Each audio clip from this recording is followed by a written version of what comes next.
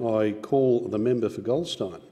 Thank you, Deputy Speaker. And Deputy Speaker, one of the proudest moments of every member of Parliament's years, in fact, we're very fortunate to be able to do it on multiple occasions, is of course to attend a citizenship ceremony.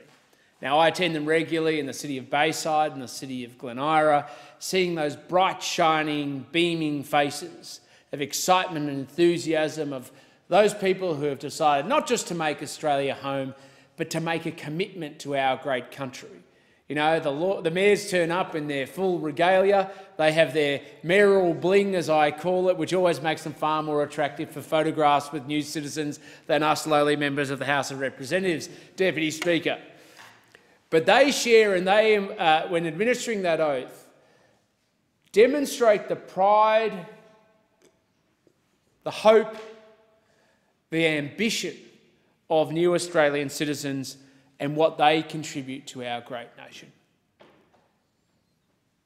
And as part of the greatest joy of Member of Parliament to go to those ceremonies and be a participant, in fact, an honour and a privilege. And it goes to the heart of the privilege of citizenship itself. I always give a regular speech talking about the history and the traditions of our great country and over thousands of years, our journey from Aboriginal and Torres Strait Islanders through to European settlement and the ongoing uh, migration waves that continue to enhance and strengthen our nation. The stories and the individual history that we all have in bringing to this country, including my own and its diversity as it is for everybody else, but how the continuing story of our great country is written by today's generations and those into the future.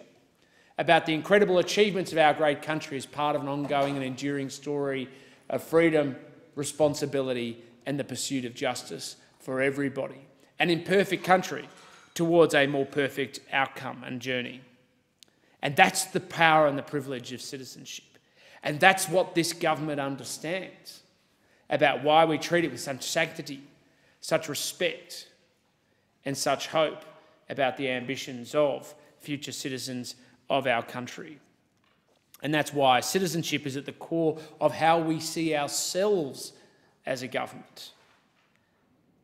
And it's important that we make sure that there's integrity in the citizenship process, making sure that everybody who becomes a full citizen is able to do so uh, and with the full confidence of the Australian people, in making sure that it's done in a fair and appropriate process, that everybody meets the criteria and as part of that process makes their commitment to our great nation and its future success as part of celebrating the traditions of freedom and responsibility.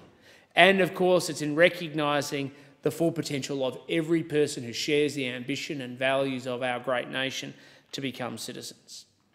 And that's why this government has invested $9 million into the systems and staff and established a task force to focus on complex cases to remove the barriers and the gaps for many people seeking citizenship while maintaining the integrity of the system so that Australians have confidence in it. And of course, there's been an incredible amount of effort that's gone into this government to do so. There was a coordinated range of improvements to the entire citizenship processing pipeline during the past financial year.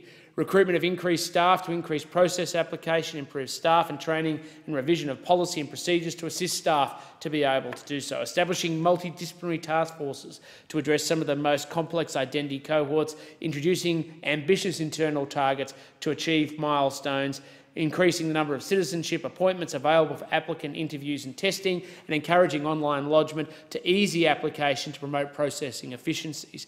These are administrative processes, but they go to the heart of what then we have been able to achieve. We've seen an 80% increase in the number of citizenship by conferral applications approved. We've seen a 62% de decrease in invalid outcomes, which have been much quicker to process, so that those people who are denied a pathway to citizenship can correct if appropriate. We've seen more than 145,000 new Australians have their citizenship by conferral applications approved in the last financial year, up from 81,000 in 2017 18. Deputy Speaker, at every point, this government has done what is appropriate to preserve the integrity of our citizenship application process. This government has done everything it should to make sure that there's pathways for, for uh, those people who wish to be new Australians to reach their potential as citizens. And we see that on the faces, the smiles, the joy and the eyes of new citizens they're sworn in at those citizenship ceremonies. thank the member for Col- Goldstein.